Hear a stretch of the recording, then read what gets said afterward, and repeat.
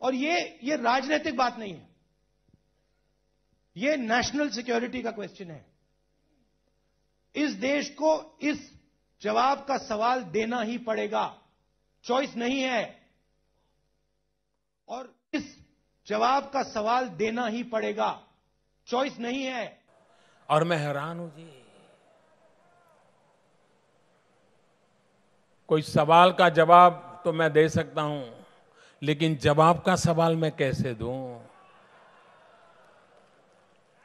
ये ऐसे नेता हैं जो जवाब का सवाल मांगते हैं, जिनको ये समझ नहीं है कि पहले सवाल आता है कि पहले जवाब आता है, क्या ये आपका भला करेंगे क्या?